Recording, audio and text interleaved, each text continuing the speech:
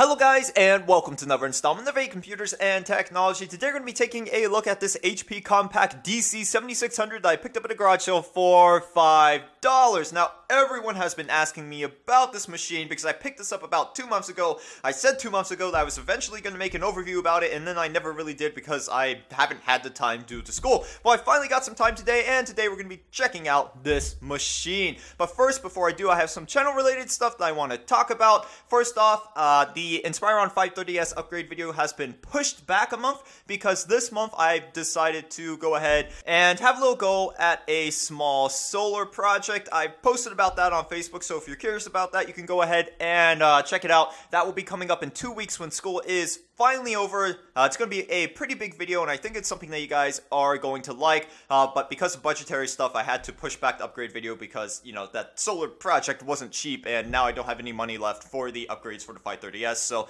yep, the 530S upgrade video should be happening sometime uh, in late August, I believe. So, uh, look forward to that, and look forward to the solar project as well. Let's go ahead and take a look at the system now, now that that's out of the way. I'm doing things a little bit differently, and starting from the back today because I want to show you guys something. It appears that someone has no idea how to use a screwdriver because they have removed the screws on the back of the case and tried to replace them, but they did a really bad job at replacing them because they are not properly screwed back into their corresponding holes, and two, they stripped the crap out of every single screw head on the back. So I can't even grab a screwdriver and, and try to reseat them on my own because the screw heads are completely stripped. Uh, I don't know why someone would even do this, you know, because the side of the case uh, just comes off by pulling back this handle right here.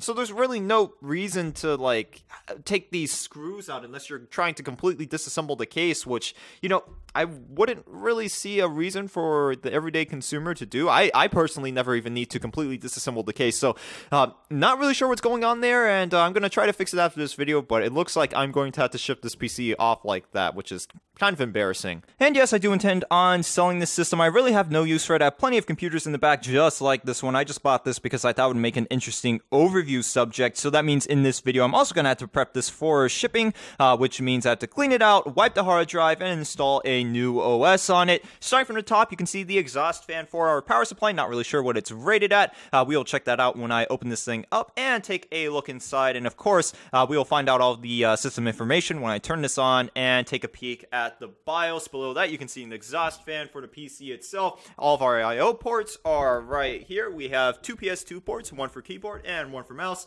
Uh, serial port, parallel port, VGA out for video. You have a total of six USB 2.0 ports on the back of this motherboard. Now, audio interfaces right there, uh, Ethernet, and then right below that, it appears that a sound card is installed in this system.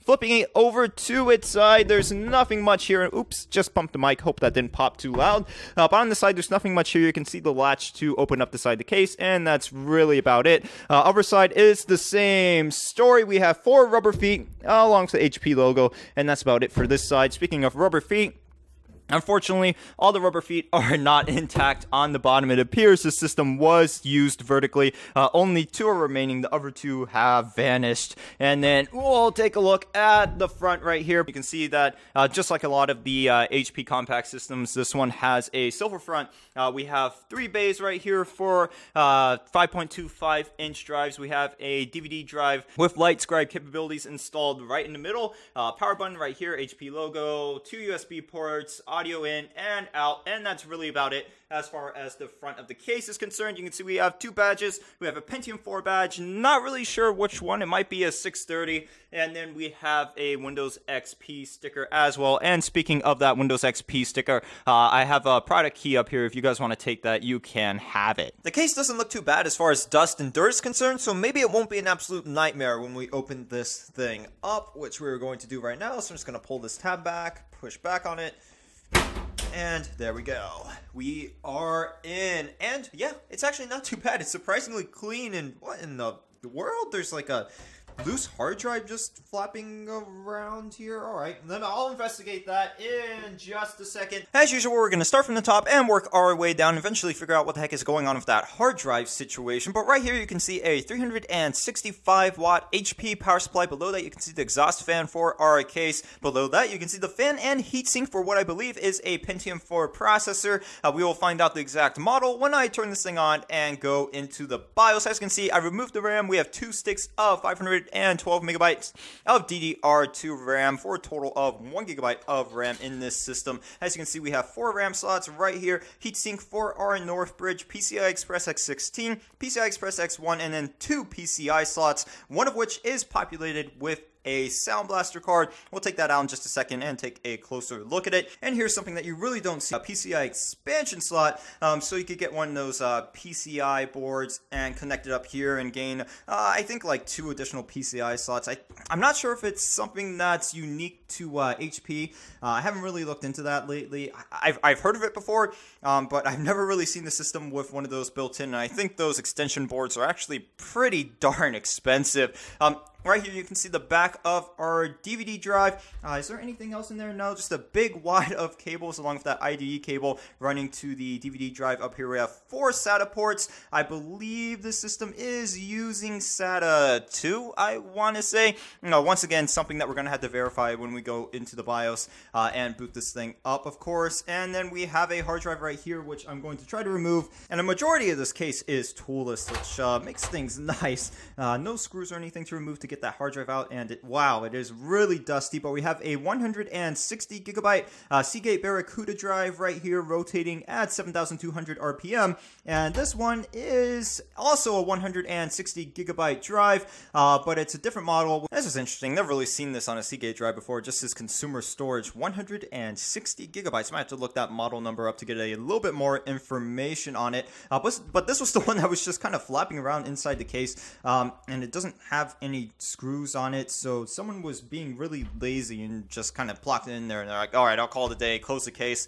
I'm like, yeah, it's not going anywhere. I don't really have to worry about securing that drive. But eh, it's not really ideal to have a uh, hard drive flopping around inside your case like that. Here's a better look at that sound card. This is a Sound Blaster CT4780, and from what I've read online, this is actually a pretty decent sound card, even for today's standards. So I think I'm going to keep this. I might take this for a build sometime, or maybe I'll throw this in my primary PC because that is just using integrated audio. The integrated audio on that Gigabyte board is decent, but you know, it'd be nice to have a dedicated sound card. Now, someone has went to town on this. Uh, check out these ports up here. They're like all bent up. Now, let me see if I can uh, angle this so you guys can get a better look at that. My camera did not want to focus right there, and I just realized I didn't have my microphone plugged in. But as you can see, someone had a heyday here. Uh, these should be parallel with the board, and as you can see, this one's completely vertical. I can't get it to go back down. These uh, are off the board quite a bit as well. It looks like someone has taken whatever was plugged into them and bent it back and therefore bent the ports back you know oh man this this person was not thinking when they serviced this computer that that's for sure they were going uh absolutely mad here with this system ah man yeah, but I'll probably keep this around. You know, this alone is worth the five bucks I paid for the system, so not bad, not bad. And you guys know I like to power these things up on camera for the first time and see if anything goes pop, so let's do that right now. I'm gonna plug it in, Nope, nothing yet. So I'm going to hit the power button. And it is powering on. Got the HP screen. Can I get into the BIOS? Uh, I don't think I made it. There we go, I finally managed to get into the BIOS. I kept hitting escape, but it was actually F10 to get into setup. And as you can see, this system is rocking a Pentium 4 running at 3.4 gigahertz with an 800 megahertz front side bus. Um, so I believe this would be a Pentium 4 650 Prescott. We have 2 megabytes of level 2 cache on board that processor. 100 and, oh, sorry, 1 gigabyte of DDR2 memory. We already went over that. Uh, there's nothing really else here. That looks interesting. uh, what else can we get into in this BIOS, device configuration. Now we have our hard drive right there, 160 gigabyte hard drive. I do not have the other one plugged in because it was not plugged in initially. Uh, we'll check that one out after we take a closer look at what exactly is on this hard drive, if, if there's an operating system on it or not. Uh, where else can we go? Thermal, what is under here? Fan idle mode. Oh, wow. Okay, I can rev up the fans all the way. Not sure if that's coming out on mic. Wow. Alright, that's fun. I could do this all day. And the fans are actually pretty quiet when they're uh, at idle speeds. I can't really hear them, which is nice. Advanced, uh, PCI devices, okay. Yeah, we already seen all those. USB controller, SATA controller, yada yada yada. There's our sound card, and of course our Ethernet controller. Nothing too interesting there. Let's go ahead, exile this, and boot into whatever the heck is on this hard drive. You know, I hear something in the DVD drive, guys. I, I hear something in here, and there is actually something in here. Michael Orts Instruments? Did someone leave their mixtape in here? Alright, let's see what this is. It looks like some sort of audio file. I'm gonna pop it open. Huh. All right, so it's someone's music, either music they created or music they downloaded, and uh, hopefully this doesn't get us pull, uh, get this video pulled off YouTube. I'll just play a little bit of it.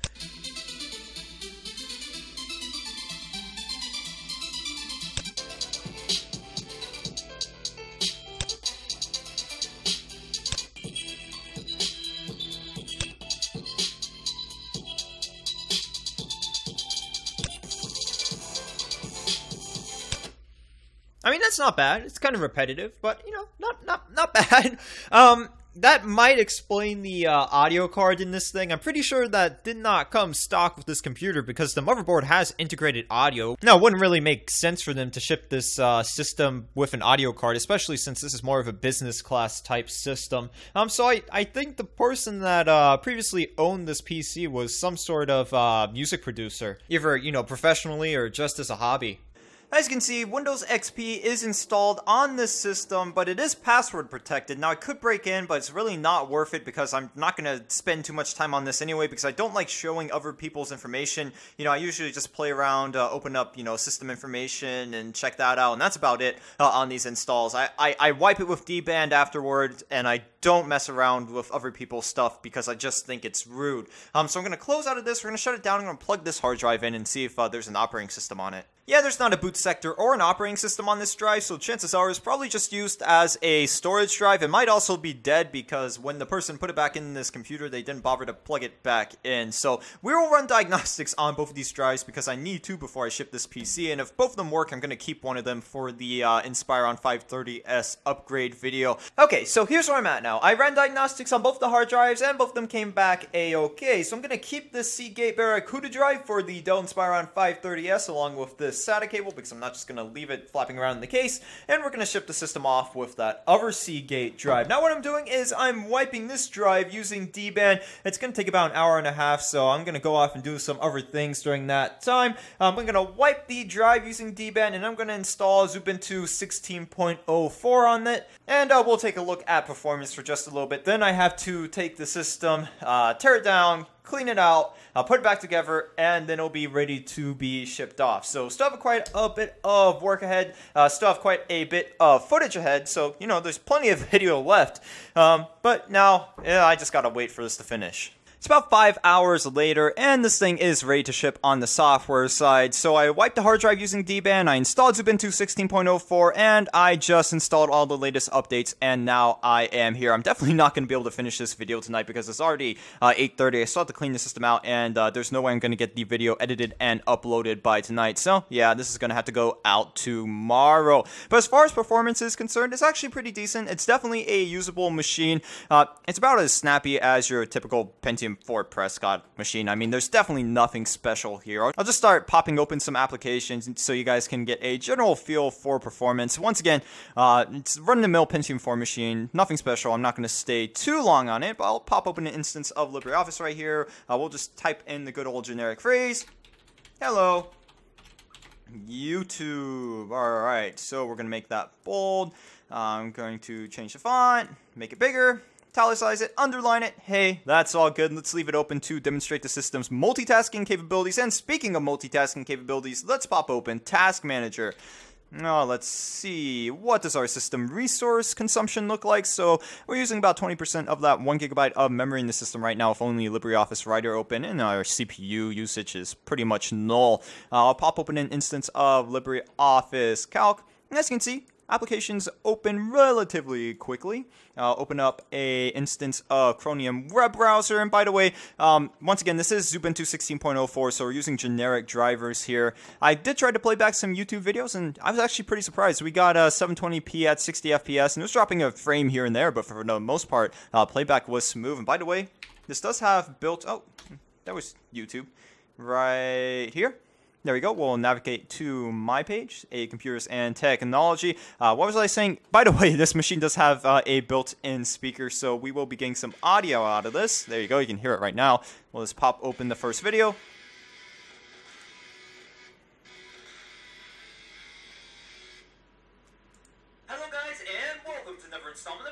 So this is 720p at 60 FPS. You can see, eh, for the most part, playback is pretty smooth. It's dropping a frame here and there, um, but it is watchable. If we drop this down to standard definition 420p, uh, definitely watchable, not dropping any frames there. Looks pretty good as far as playback is concerned. I'll just skip through here.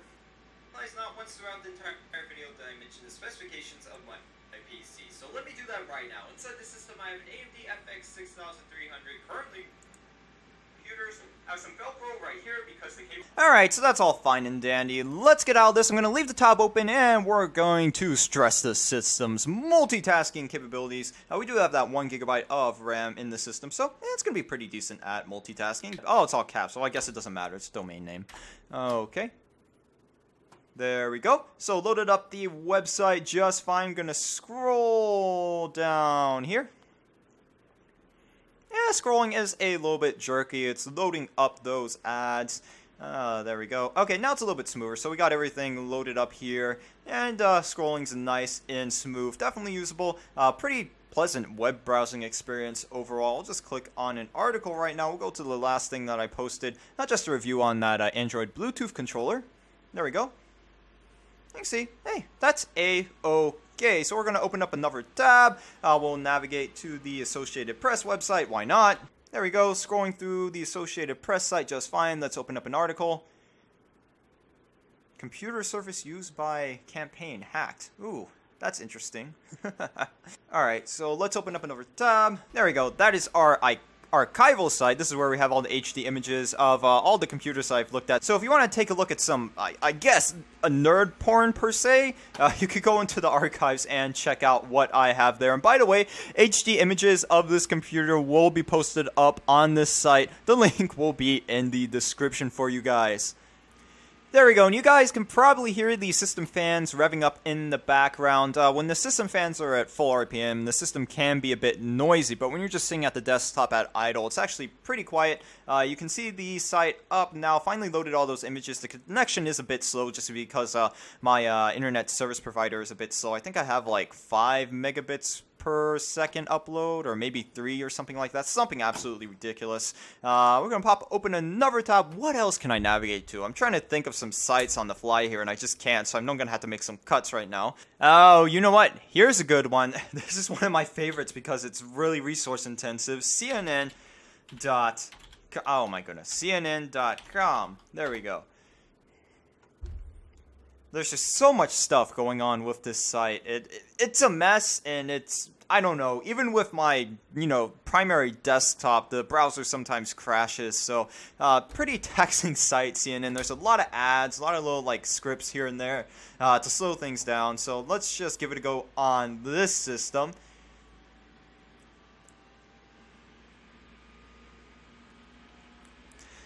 It's doing okay. Yeah, we're, we're starting to seize up here. You can you can tell it's definitely struggling. You can see the loading icon just froze. The site, you know, I'm trying to scroll through the site and it's really just not having it. What does our uh, resource consumption look like? We're probably hitting uh, close to maxing out our RAM. Actually, you know what? It's not too bad. Uh, we do have swap enabled, so we're using swap space as well. Uh, I should probably turn that. Oh, I guess I'll just leave the swap on. But as you can see, we're just struggling with uh, CNN right now. Eh, got a little bit better with uh, everything loaded up. That's going to be about it for the web browsing portion. Not really going to stay too long on this. Now I'm going to download a game. Uh, probably going to install Super Tux Kart, and we'll see how that plays back on this. You know what? I lied. We're actually going to be playing a personal favorite of mine. This is Open Arena, which is pretty much just like Quake. Um, and as you can see, I have it in windowed mode. That's because in full screen, uh, the uh, brightness is actually really low and it doesn't come out very well on camera for some reason. So I switched it back to windowed mode. Let's just go to our system settings real quick. Check out our graphics settings. You can see everything here. I'm not going to read it off right now. I have it on what would be, I guess, an equivalent to medium graphics settings. Uh, we're going to go back go into single player mode. Uh, just select a random map. Uh, just pick the first one. Sure, that sounds good. Let's do this. As you can see, frame rate's pretty darn good. Uh, definitely getting at least 30 frames per second here. And uh, I never claimed to be any good at this game, just saying. I'm actually pretty bad at it. Whoa! And I'm just all over the place there. Ah.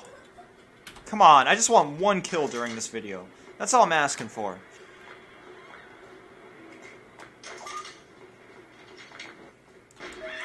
Yeah, there's my one kill. Alright. What's this? Oh yeah, lightning gun thing.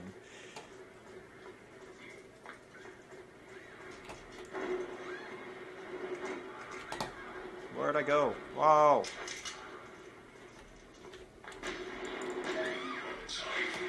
Oh, awesome. What? I'm tied for first place? No way. Three seconds I fell into this water. Whoa, what? She just did like a backflip. What is that? What was that? How do you do that?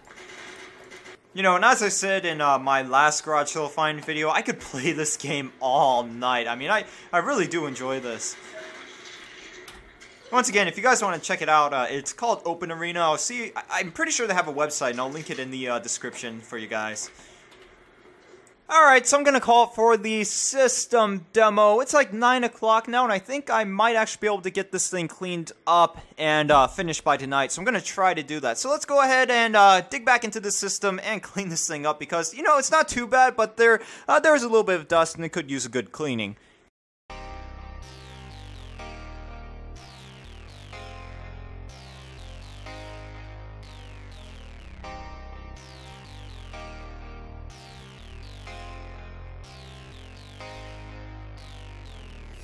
Check that out. That's actually pretty gross down there.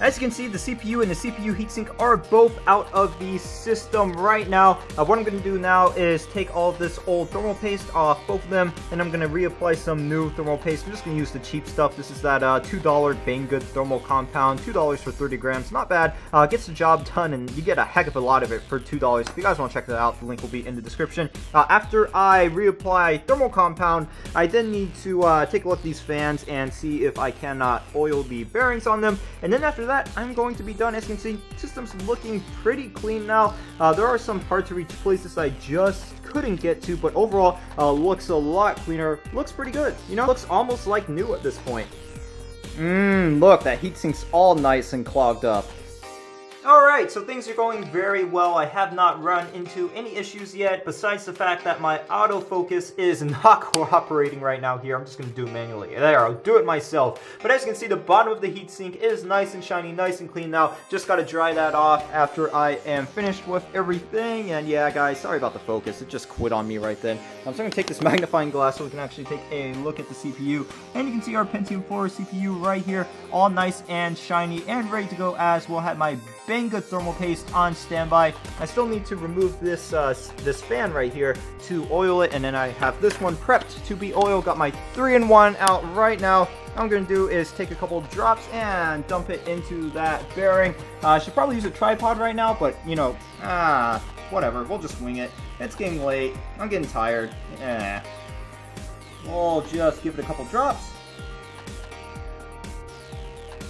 There we go. That looks nice. Put the sticker back on. And we'll spin it around a little bit, and we should be good.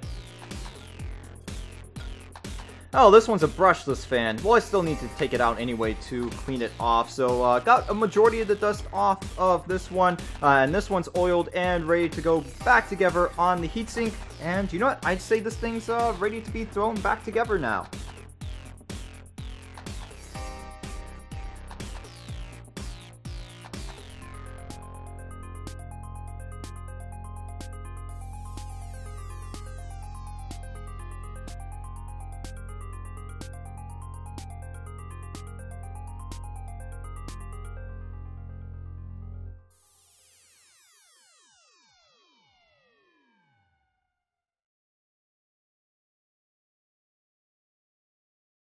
And at this point, the system is pretty much ready to go. As you can see, it's all nice and shiny inside the case. You just saw I uh, replaced the heatsink and put that Banggood thermal paste under there, so that's all good. Um, I also put some new rubber feet on the bottom of that PC, so those should last this thing for at least the next five years. Um, someone in the previous video asked me where I got these rubber feet. I got these off Amazon. I will go into my purchase history and see if I can't find them and put the link in the description for you.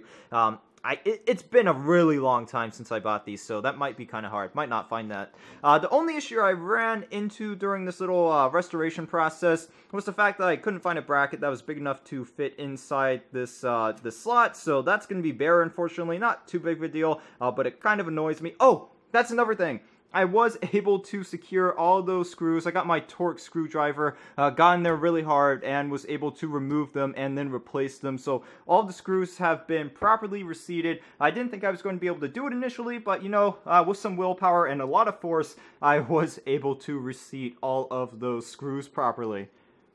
And it is ready to go, guys. And I know I haven't been mic'd for the past couple clips. That's because the cable doesn't, like, reach around where I'm going. I'm all over the place right now. Um, but yes, the computer is ready to go. Uh, you know, cleaning everything out has made a difference. The fans have not revved up once. I've been playing around with Xubuntu, and, you know, throughout that whole time, uh, the fans have just been staying at that idle speed. So really nice now. Not a lot of noise coming from the system at all because those fans are staying at their minimum speeds. Uh, really glad we went in there and cleaned all that out. And that being said, the system is ready to be shipped off, and I am done with this video now. It's late, I'm ready to go to bed. I'm gonna edit this together tomorrow, and I also gotta get a review out tomorrow, so uh, tomorrow's gonna be a busy day as well. Uh, let me flip the camera around so you guys can actually see me. I probably look really uh, gross right now. I've been sweating in here. Uh, the air conditioning's been cut off, so it's getting really hot, and I'm ready to end this video. So if you guys have any questions, comments, or concerns, you can go ahead and post a comment in the comment section. Don't forget to drop a like on this video. If you didn't like this video, please tell me why, and of course, please do not forget to subscribe to my YouTube channel. Um, if you want to support me, you can use my Amazon or eBay affiliate links, both of which will be in the description. You can also support me by checking out my Patreon. And of course, don't forget to drop a like on the Facebook page. Once again, guys, thanks for watching, and I will see you in the next installment of AA Computers and Technology.